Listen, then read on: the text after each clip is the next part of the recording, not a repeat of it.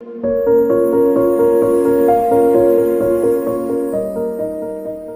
ោកអ្នកនាងជាទីមេត្រី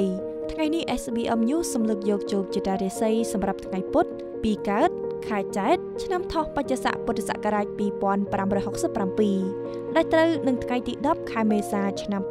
2024ដែលមានដូចតទៅ ឆ្នាំជូតធាតទឹកពងទេវរាប្រុសរាសីរបស់អស់លោកអ្នកដែលកើតឆ្នាំជូតថ្ងៃនេះរាសីមជ្ឈុំរាល់ដំណើរចិត្តថ្ងៃនឹងការទំនាក់ទំនងជាលក្ខណៈផ្លូវការក្តី និងមិនផ្លូវការក្តីសម្រាប់នៅក្នុងថ្ងៃនេះគឺមិនមានផលរំខានអ្វីនោះទេប៉ុន្តែចូលសង្កត់ចិត្តឲ្យស្ងប់ព្រោះអាចនឹងមានមនុស្សនាំភ្លើងមកដុតរុលអ្នកបានសម្រាប់រឿងគ្រួសារនិងស្នេហានឹងទទួលបានតែស្ញាំញញឹមបើសិនជាចេះអត់ឱនឲ្យគ្នា ឆ្នាំឆ្លូវធាតដីពងមនុស្សប្រុសរាសីរបស់អស់លោកអ្នកដែលកើតឆ្នាំឆ្លូវថ្ងៃនេះរាសីធ្លាក់ចុះលោកអ្នកនឹងមានតែអ្នកតាមផ្ចាញ់តាមជន់បលិចឥតស្រៈស្រាន់ដូច្នេះត្រូវប្រុងប្រយ័ត្នខ្លួនជានិច្ចជៀសវាងដើរហើរឆ្ងាយផ្ទះហាមដាច់ខាតត្រឡប់ចូលផ្ទះពេលយប់ជ្រៅដោយឡែកសម្រាប់រឿងគ្រួសារនិងស្នេហាមិនមានបញ្ហារកម្មរកូសណាមួយឡើយគ្រាន់តែមិនមានរឿងល្អៗនិយាយជាមួយគ្នាតែប៉ុណ្ណោះ ឆ្នាំខាលធាតឈើពងយៈស្រីលោកអ្នកដែលកើតឆ្នាំខាលថ្ងៃនេះរេសីមជ្ឈុំកិច្ចការងារទាំងឡាយទាំងពួងរបស់អស់លោកអ្នកនឹងប្រព្រឹត្តទៅជាធម្មតាគ្រាន់តែមិនទទួលបានលទ្ធផលសមប្រកបទៅតាមអ្វីដែលអ្នកចង់បានចំពោះអ្នករកស៊ីប្រកបរបរផ្សេងផ្សេងនឹងទទួលបានលៀបសក្ការៈតិចឬច្រើនទៅតាមការខំប្រឹងប្រែងប៉ុន្តែមិនត្រូវចំណាយចាយវាយច្រើនហួសកម្រិតឡើយសម្រាប់រឿងគ្រួសារនិងស្នេហាមិនមានបញ្ហាអ្វីគួរឲ្យចាត់ថ្នាក់បាននោះទេឆ្នាំថោះ ធាតឈើពងមនុស្សស្រីរិស័យរបស់អស់លោកអ្នកដែលកើតឆ្នាំថោះថ្ងៃនេះឡើងខ្ពស់ត្រដែតលោកអ្នកនឹងមានអ្នកមានបុណ្យតាមជួយថែរក្សាគុំក្រងចាប់កាន់ការងារអ្វីក៏បានសម្រេចគិតអ្វីក៏ចេញធ្វើអ្វីក៏សម្រេចលៀបសការៈច្រើនហ៊ូហៀចូលមករកខ្លួនអ្នកចំពោះរឿងគ្រួសារនិងស្នេហាគឺមានតែភាពផ្អែមល្ហែមយល់ចិត្តគ្នាទ្វេមួយជាពីរ ឆ្នាំរោងធាតមាសពងទេវតាប្រុស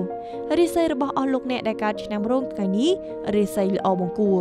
លោកអ្នកត្រូវគិតគូរឲ្យបានវែងឆ្ងាយមុននឹងទទួលមតិយោបល់ពីអ្នកដទៃ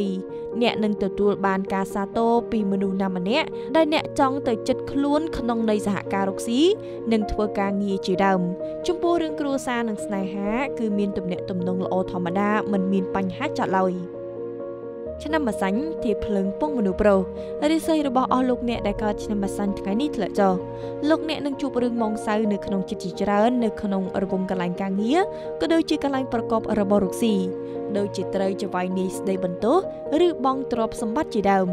ក៏បីធ្វើចិត្តឲ្យនឹងណោកុំតូទុនទៅរកភាពអវិជ្ជមានគិតរឿងល្អល្អទៅជាដំណោះស្រាយផ្លូវអារម្មណ៍ចំពោះរឿងគ្រួសារនិងស្នេហា មានតែភាពអរកម្មរកោនិងមិនចោះសម្រងគ្នាជានិច្ច ឆ្នាំមមីធាតភ្លើងពងទេវរាស្រីលោកអ្នកដែលកើតក្នុងឆ្នាំមមីថ្ងៃនេះរីស័យធ្លាក់ចុះលោកអ្នកអាចនឹងត្រូវចាញ់បោកគេបងទ្រព្យសម្បត្តិដូច្នេះចូលតាំងចិត្តកុំអាណិតមនុស្សប្លែកមុខហាមបងប្រាក់កក់ហាមបណ្ដាក់ទុនជាពិសេសនោះគឺហាមទិញអចលនទ្រព្យចំពោះរឿងគ្រួសារនិងស្នេហាអាចនឹងមានរឿងរកម្មប្រកោកបន្តិចបន្តួចឆ្នាំមមែធាតមាសពងទេវរាស្រី លោកអ្នកដែលកើតក្នុងឆ្នាំមមែថ្ងៃនេះរាសីឡើងខ្ពស់លោកអ្នកនឹងជួបសំណាងធំនៅក្នុងការងារឬក៏អាជីវកម្ម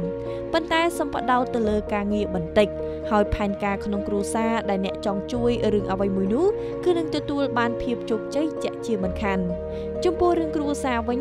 គឺមានភាពរលូនផ្អែមល្ហែមល្អលឿនជានិច្ចឆ្នាំវកធាតដៃពងយៈប្រុស លោកអ្នកដែលកើតឆ្នាំវកថ្ងៃនេះរាសីល្អបង្គួរ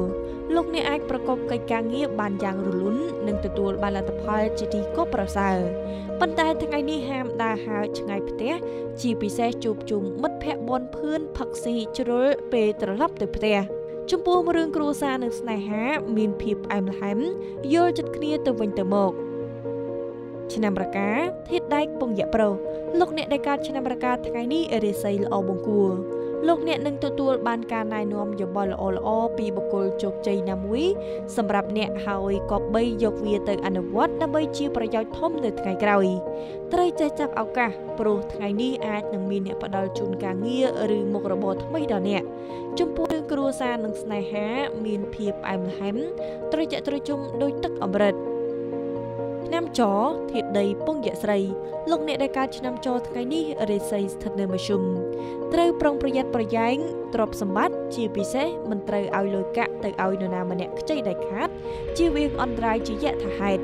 ចំពោះរឿងគ្រួសារនិងស្នេហាគឺមានភាពរលូនមិនមានបញ្ហាចាត់នោះឡើយឆ្នាំកុលធាតទឹកពងមនុស្សស្រីរិស័យរបស់អស់លោកអ្នកដែលកើតឆ្នាំកុលថ្ងៃនេះឡើងខ្ពស់ថ្ងៃនេះលោកអ្នកនឹងសម្រេចការងារធំមួយក្នុងឆាកជីវិត ដែលជោគជ័យនេះនឹងធ្វើឲ្យអ្នកក្បែរខ្លួនអ្នករំភើបចិត្តជាខ្លាំងព្រមទាំងមានមោទកភាពជាមួយអ្នកទៀតផងចំពោះរឿងគ្រួសារនិងស្នេហា មានតែភាពផ្អែមល្ហែមត្រជាក់ត្រជុំដោយទឹកអង្គបំពង់ខ្ចី